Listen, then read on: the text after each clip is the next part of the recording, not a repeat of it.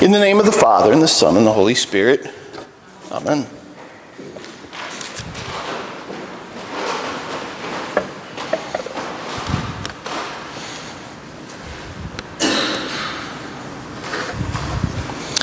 A fragrant offering. A fragrant offering. Everyone is blessed when love propels the gift. Everyone is blessed when love propels the gift. There's a scene in the movie It's a Wonderful Life. Interestingly enough, when it came out, uh, it didn't do very well. The country really wasn't interested in another movie reflecting on World War II. But of course, it's a classic that's played on television and different streaming services every Christmas. And there's one scene where George Bailey, one of the main characters, played by Jimmy Stewart, is about to commit suicide. He's on the bridge and he's looking down at the turbulent waters. And all of a sudden, this other person jumps into the water. We find out later it's Clarence the angel. And he's an angel third class because he hasn't gotten his wings. He's not super impressive. But he decides he's going to jump into the, to the river because he knew George and he knew George would try to save him, and he did. And so they're sitting in this uh, room with the uh, person who oversaw the bridge, and they're sitting there next to the, to the stove, warming up, and uh, they have a little conversation. And they're talking uh, back and forth, and George Bailey says to the angel Clarence, You wouldn't happen to have 8,000 bucks, would you? And Clarence goes, Oh, no, no, no, no, no. We don't use money in heaven. And George Bailey's response was, Well, it comes in pretty handy down here, bub. And as you remember the story, uh, George's uncle had absentmindedly given away the 8,000 instead of depositing it, and they were looking at some very serious issues. Whether we like it or not, how we use the monetary blessings given to us by the Lord and why we use them the way we do matters. Reflecting on our wealth or the lack of it gets to the heart of who we are, what we trust, and the risk that's involved whenever we give it away. Today, we're looking at Paul's declaration that everyone is blessed when love propels the gift. We're finishing our series in the book of Philippians. I hope it's been a blessing to you. It's certainly been a blessing to me. And as we look at this, and before he gives his final greetings, he wants to thank them and return to uh, what he had said a little bit in chapter 1 about how they had blessed him. And starting in verse 10, we, as was read by Lynn today, Paul says, I rejoice in the Lord greatly now that at last you have revived your concern for me. Indeed, you were confirmed, concerned for me, but had no opportunity to show it. And he goes on and talks about the monetary gift that was brought by Epaphroditus. And Lynn, you did a fine job trying to say that name. You hang in there. That's not an easy one. But he starts out again with our phrase, the phrase he repeats over and over and over and over in Philippians. I rejoice in the Lord. Rejoice in the Lord. Have joy, have joy. And Paul here gives us yet another key, the word and spirit, that can unlock peace and joy for us. And that is don't put our trust in our monetary blessings from Him, but put our trust in Him. Listen to what he says in verse 14. He says, He rejoiced because you've revived your concern, and they had blessed him. And then in verse 14, he says, In any case, it was kind of you to share in my distress. This gift that had come from Epaphroditus was a time when he was in need.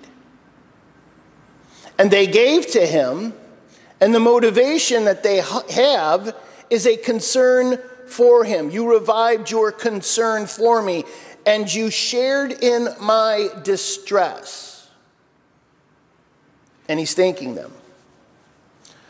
Their motivation for Paul here was not because Paul was browbeating them or trying to get money out of them, but because they were truly concerned for Paul. And we're going to see that uh, reconfirmed as we go through our text today.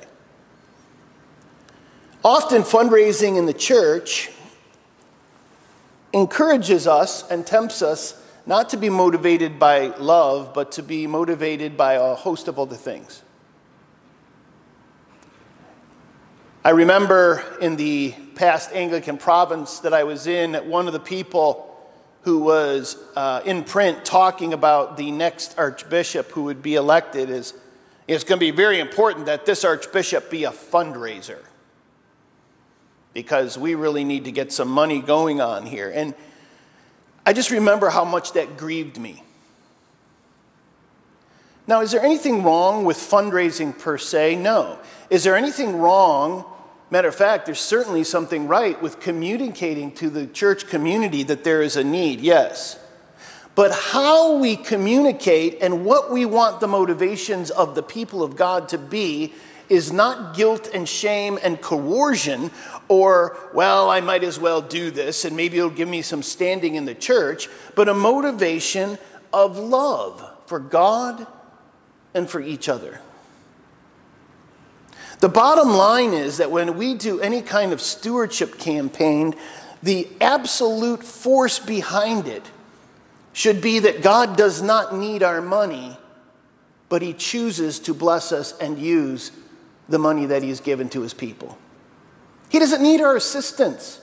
He's not up there wringing his hands hoping that St. Matthew's can pay their bills. But our reflection in how we use our money can represent the softness or even the hardness or fear of our hearts. We give out of hearts that are glad to do it, or if we're faking it so we can make it, because we love our God and love people and want to have the right motivations. Secondly, commitment through Christ, verse 11. Paul says, You were concerned for me and you gave you didn't have an opportunity beforehand. He was likely not in that region. And not that I'm referring to being in need, for I've learned to be content with whatever I have. I know what it is to have little, I know what it is to have plenty. In any and all circumstances, I have learned the secret of being well fed and going hungry, of having plenty and being in need. I can do all things through him who strengthens me. In any case, it was kind for you to share in my distress. Paul is likely here being accused by some of the people he talked about in the first chapter that Paul's trying to make money off of his ministry. He's not in it to love. And in the past, we don't, you don't see this in the context, but he had gone to the, the churches in Macedonia, including the Philippians, and he was trying to raise money for the famine in Jerusalem and in other places where there were people who were starving in the church. And he was going around to the different churches trying to raise money for that, and now his detractors are likely trying to stick it to him. Oh, he raised that money, all right, but he raised it for himself. And he's letting them know no, I'm not raising this money because I don't believe God can take care of me. I'm raising this, or I asked you for this help because I'm trying to be a servant of God and a good steward. And he'd learn what? Contentment. Can you buy contentment? This is the problem with being wealthy and making your fortune and then having kids. And you can read story after story and documentary and documentary. It's terribly hard not to spoil kids who have everything given to them. And they grow up to be adult children and why would they be so entitled and miserable? Because contentment doesn't come from being rich. Contentment is a matter of the heart. Everyone is blessed when love propels the gift. Thirdly, Paul says it's an act of worship. The giving you've given to me and to others. Look in verse 15. You Philippians indeed know that in the early days of the gospel, when I left Macedonia, no church shared with me in the matter of giving and receiving except for you alone. For even when I was in Thessalonica, you sent me, uh, you sent me help for my needs more than once. Not that I seek the gift, but I seek the profit that accumulates to your account. I have been paid in full and have more than enough. I am fully satisfied. Now that I have received from Epaphroditus the gifts you sent, a fragrant offering, a sacrifice acceptable and pleasing to God. What he's talking about is that when he was in different parts of Macedonia, because of the way the Roman people would think about the patron system, we've talked about this before, he chose not to be paid by them so as to be seen as an equal, not their worker. They were not developed in their understanding. Some of them were newer bodies in Christ, or some of them were troubled bodies in Christ. And whatever the case is, he is choosing and had to rely on people like the Philippians to pay to, to fulfill his needs. They also allowed him, he was a tent maker, they also allowed him more freedom to be able to preach and use his gifts instead of being making tents so that the gospel could go forward more effectively. But he says to them, You're giving to me and to these causes, they're about the kingdom of God raise up to God like a sacrifice on a Jewish altar of sweet incense. It's that incense that we hopefully can reflect and be pointed toward when we have incense in our worship. It's, it's something we're worshiping God with the beauty and the smells of who He is, and we're offering up everything that we have of our senses and self and saying that we love God. And Paul's saying, Your giving was motivated by love and what you have done worships and blesses even our God. And then finally, he says to them that those that are giving are actually receiving. The giving that receives. Look in verse 17. Not that I seek the gift, but I seek the profit that accumulates to your account.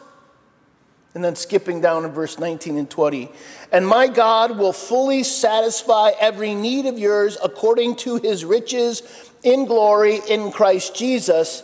To our God and Father be glory forever and ever. Amen. And look what he finishes with. To our God be Father and Father be glory forever and ever. Amen. Paul talks about in the first chapter the fruit of righteousness that's evidenced in their lives the work of the Spirit that is among them. Their progress and faith has been evidenced by the way they have lived, and that has included their giving. And then in First 1 Corinthians chapter 3, actually, I think it's 2 Corinthians chapter 3, he talks about this idea of the things we've done before God come before at the end of our life, where it is seen that we have truly followed him. And he's not trying to say, hey, you got good rewards coming. That's not the focus. The focus is be encouraged. I know you're suffering, but what you're doing matters, and God cares about them, not that it earns us a salvation. It is, should be the fruit of a transformed life. Our giving is to be directly is, is and will be directly related to our spiritual condition. Why we give is as important as the gift itself. And this is what often discourages me about the way churches and clergy raise money. You can raise a lot of money in the short term. But in the long term, how we raise that money can close off the power of the Spirit and our witness that only comes from the change and love of character and opens up to the Holy Spirit through the Holy Spirit to the world a people that are truly odd for the right reasons. But instead, and one of the reasons I believe the church is in decline, we have taken the world's way of getting things done. Hobnob with the rich. Get them involved because they can build you some beautiful, and there's nothing wrong in and of itself of being wealthy. What is wrong is putting your hope in wealth, whether you're a clergy or a layperson. When I approach someone who's wealthy in my church, because there's some need that I see, I'm not just thinking about the church or my own career or how we'll be perceived in the community. I'm thinking of this person's soul. Remember Jesus when the rich young ruler came to him? The rich young ruler, he had a lot of money. He's coming to Jesus. Master, he says. I mean, if Jesus was like a lot of our clergy today, he'd be like, whoa, this guy's an important dude. How can I encourage him in the Lord? keep him around. And I've seen this done on staff at various big churches. But no, he was concerned about that young man's condition. He goes, Oh, yeah, I know you think you've kept all this. You think you're good. But here's your problem. I know your heart. Go and sell everything you have. That's the dumbest fundraising move in history. Because what was Christ concerned about? He was concerned about that person, not what he could get from them. And that communicates to people, it sends a message. Here at St. Matthew's, we will have times where we make you aware of needs. We will have, and God has blessed us with some endowments, and that's great. But it can also be something that we put our hope in, and it can also be something that makes us say, hey, I don't really need to be a part of this and giving. I mean, we have these endowments, we have these things, and then we miss the blessing of being a part what God wants to do here as we continue to reach out in the kingdom of God. We miss the benefit and joy of that giving and contentment that's a part of being the people of God because we love Him and love the people. But we leaders also need to reflect that we're not parasitic. We're not wanting to see the church grow so that we can be bolstered in our own selves. And that kind of respect must be earned, not just talked about. Everyone is blessed when love propels the gift. The motivation behind using our financial resources should be our genuine love for the Lord and those it blesses. The growth in our systematic giving to the Lord enables us to find our contentment in the right things, thus paving the way for joy. In the end, the sacrifice of sweet incense before the Lord gives as much to the giver in both joy and spiritual reward as it does to those who receive it in the name of Christ. Thanks be to God.